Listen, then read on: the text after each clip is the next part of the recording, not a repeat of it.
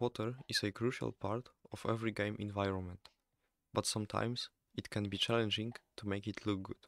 So let's create a water tile step by step together and later on in the second part of the video I'll show you not one but two ways of making it move and wave. Okay, we have our canvas. Let's turn on tiled mode and let's turn on grid as well. Okay, now let's grab a color of our background and let's paint it. Let's grab a new layer. So we can call that one background and we can call that one a foam layer. Okay, and on that foam layer, take a lighter color, turn on pixel perfect, and we can start drawing a foam. So, we want to make circles just like that and we can make them more of a horizontal circles instead of like normal circles. And we just want to make a few of them. They can be a bit bigger than you would normally do. Okay. I'm, I'm just getting rid of the double lines here and there. But I guess that looks decent for what we need. And now let's grab a even lighter color and add a few highlights. Just don't overcomplicate it. It's really, really simple task. I do it randomly. I don't pay too much attention to where I paint those highlights. Okay, but we have them now.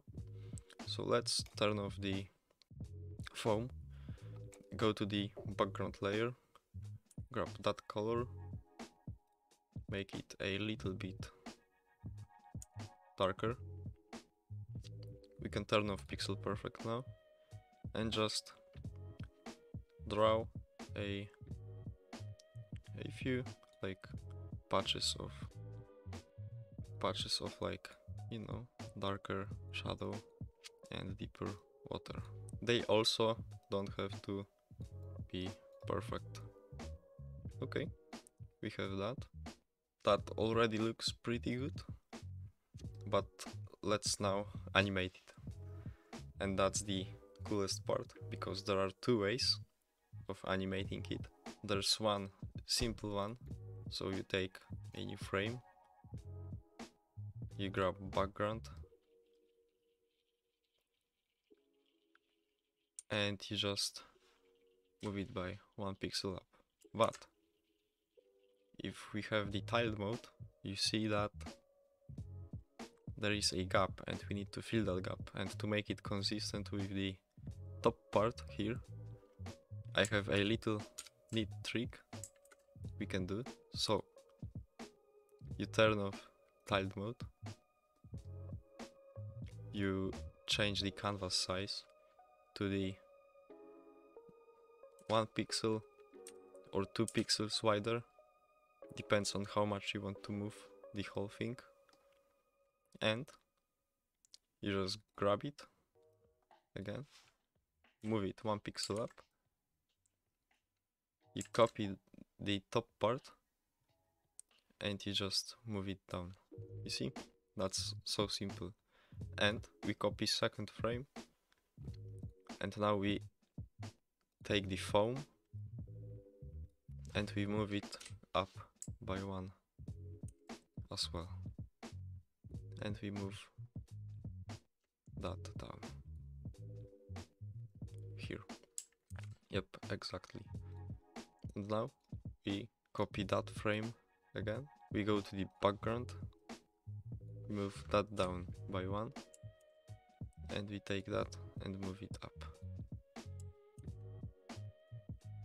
So you see that at first the, only the background moves, then moves the foam, then the background goes down, and we also need to take the foam down, which is that frame. So now when we go back to the previous size and turn on tiled mode and we'll turn off grid, we can see that we have a nice little animation. Maybe it's a little bit too fast, so we can slow it down. Yep. But that's a really simple one and it does not give the best results. So let's grab the first frame again. Let's call this animation simple anim. Grab four frames. Now turn off tiled mode and we'll again increase this sprite size. Okay. So now we'll take 4 pixels. And why 4? I mean, you can do 1, you can do 2, you can do 3. But uh, our tile size is 16 by 16. So uh, 4 pixels will be pretty good for what we want to achieve. And okay, and we just move that 1 pixel up. And we move that 1 pixel up. Now we go to the next frame. We skip the first 4 pixels and we grab the second 4 pixels and we move them up. And we do it again on both the background and on the uh, foam layer.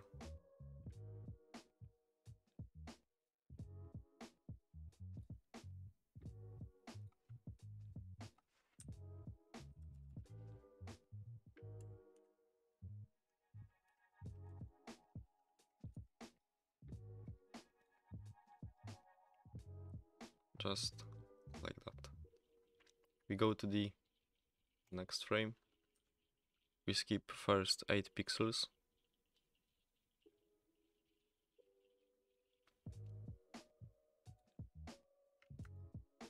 That would be 4. We move them up by 1 and we do the same on the foam. We move those down.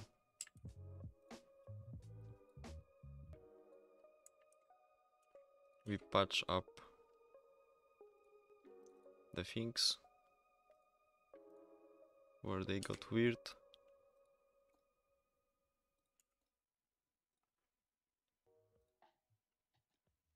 Just like that.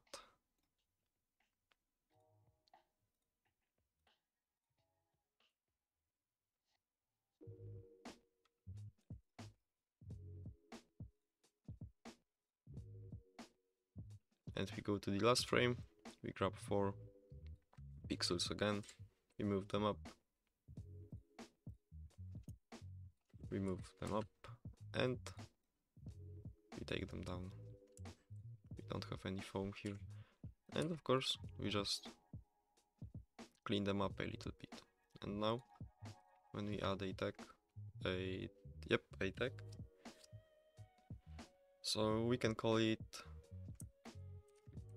better anim. Oh, look, there's one more pixel here and here, actually. We can play it. Oh, actually, let's go back to 16. Let's start on tiled mode. Oh, and look, we didn't have a pixel here as well. And when we turn it, we have like a wave thingy. And I think it looks pretty good for the amount of work we've put into it. Of course, you can also change some of those colors a little bit. So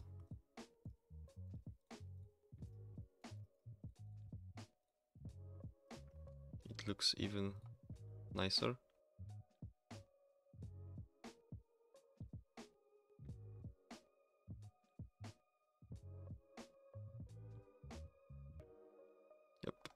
Let's see how it looks now.